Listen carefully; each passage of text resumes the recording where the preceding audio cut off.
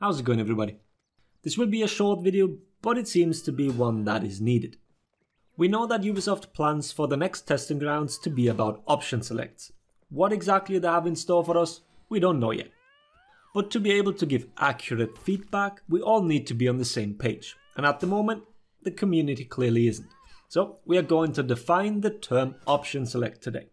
This is not something that was invented with For Honor, but it has been a thing for decades in the fighting game genre. So, what is an option select? An option select is a single input that results in a different outcome depending on what your opponent does. It's as simple as that.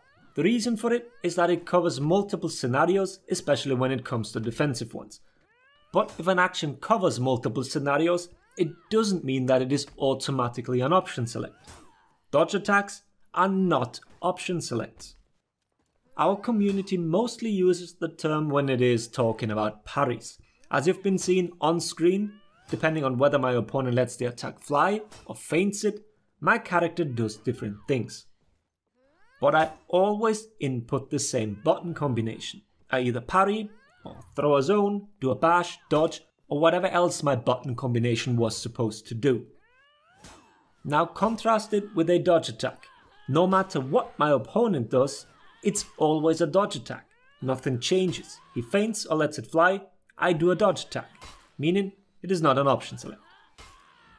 In the strictest sense of this definition, a normal parry with a heavy could also be considered as one. You either parry or throw the heavy. That is probably why it might be confusing to some people. The important part is that the game selects the option.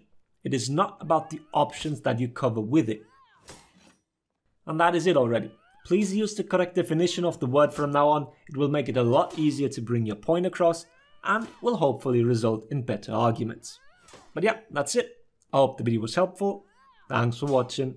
Laters everybody.